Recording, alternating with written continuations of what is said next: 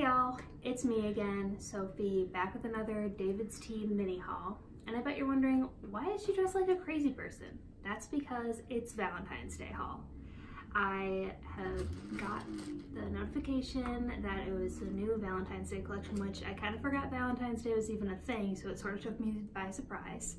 Also, shout out to my boyfriend who is filming this right now, which is why it's so extremely high up and why I'm looking so far, but he wanted to sit and then I was looking down and it wasn't cute so I made him stand up and so now it's like awkwardly tall. Also it's a blizzard outside. It's actually died down a bit but um thank you.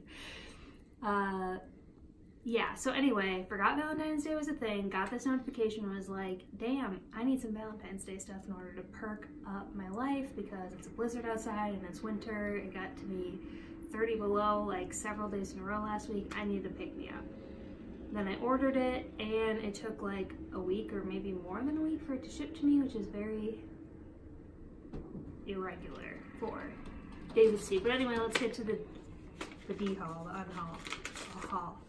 Um, cocoa chai, rooibos, cinnamon rooibos chai, and cold lemon one. Hello, Remington.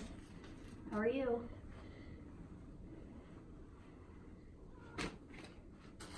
Next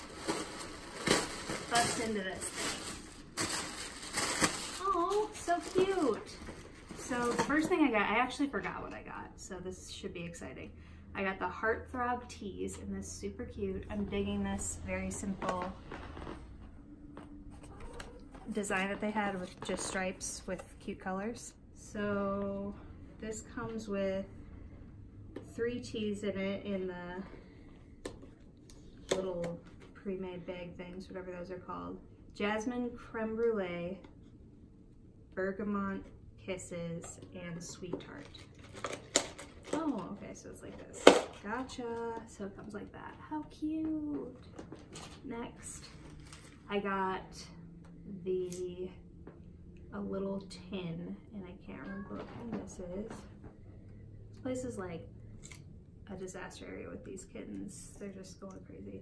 Oh, chocolate macaroon, which should be really good.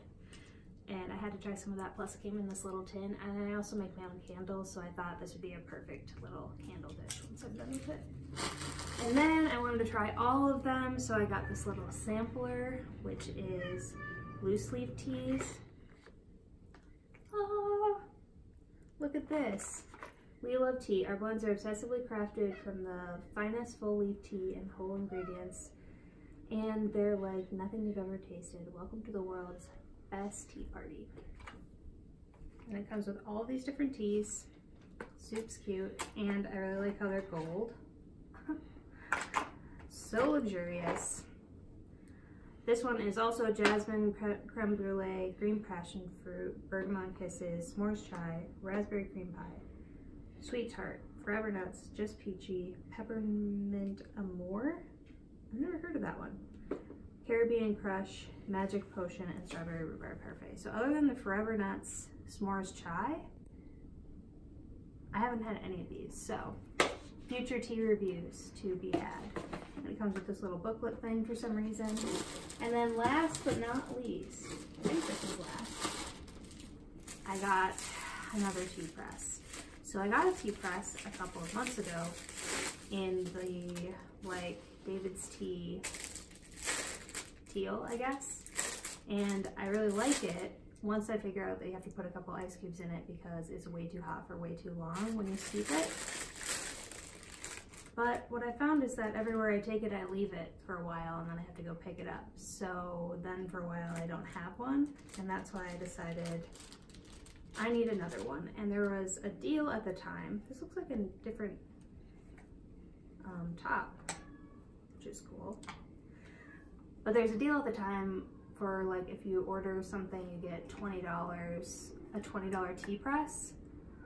But I decided, no, I'm gonna pay almost double instead, and I'm gonna get the striped one because I'm a financially responsible person. But I mean, it's just so cute. And I, unlike a lot of people, don't really like super themed things because then it's like you basically can't use that appropriately for a large portion of the year, which I realize is not like the whole shtick with David's Tea, everything is themed. But this theme was so like neutral, I guess, that I can use this any time of the year. So I decided I would splurge for it because I needed another one. So this is just one of the tea press, tea press things. It looks like it has a new top. Press the lock and unlock button. That's cool. So now I can lock it. So basically, that is my tea haul for the day. Thanks for watching. I'm gonna probably, potentially, yes, probably do a tea review right off the bat. So you have that to look forward to. Bye!